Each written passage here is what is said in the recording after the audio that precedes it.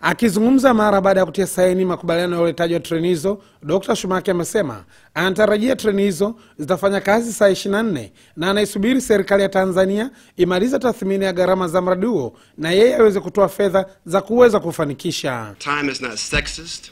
Time is a great equalizer. We all have 24 hours in a day. Now, what do we do with that 24 hours is the question. This train allows for each individual to share the same amount of time. I had the opportunity a few years ago to come to Tanzania and I, I climbed Mount Kilimanjaro. All the way up to the top, and that was called the Uhuru Peak, which represented freedom.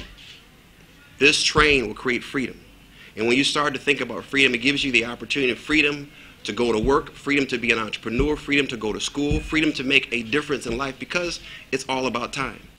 Naye waziri wa uchukuzi Dr. Harrison Makembe amesema treni hizo zitafanya kazi kati ya station na ya Pugu na zitatumia miundombinu ya reli iliyopo, ila kutakuwa na ujenzi wa reli nyingine katika baadhi ya sehemu kuruhusu treni kuweza kupishana. personally kuwa ni mwekezaji wa kwanza kutoka nje ambaye unamwambia kitu anaitikia naweza kuifanyia kazi baada ya kusema na masharti. Watu wanasema na masharti. Sharti la kwanza lazima unipe uweke dhamana, unipe dhamana ya serikali.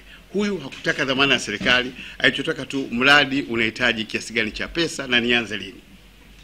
Na ndio maana ni katika mkutano wa leo nimechukua fursa kuomba sana watendaji wetu katika wizara na katika vyombo vingine vya serikali ku, ku process eh, haya makaratasi ya PPP ya ushirikiano wa sekta binafsi na serikali haraka iwezekanavyo, tuache ukiritimba usio na maana, kwa sababu tunaweza ikatuchukua zaidi ya miezi sita kupitisha karatasi tu tukachelewesha huu mradi.